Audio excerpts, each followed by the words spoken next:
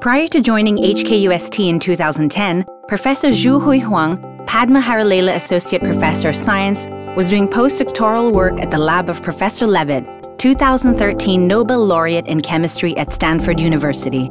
As a computational chemist, I develop new algorithms and perform computer simulations to understand how enzymes go about their business, how they can do this continuously and for the most part accurately, and how errors occur. Professor Huang and his group recently made a major breakthrough on how cells self correct during the complex multi step RNA polymerase transcription process, which is implicated in diseases such as Alzheimer's and aging when things go wrong.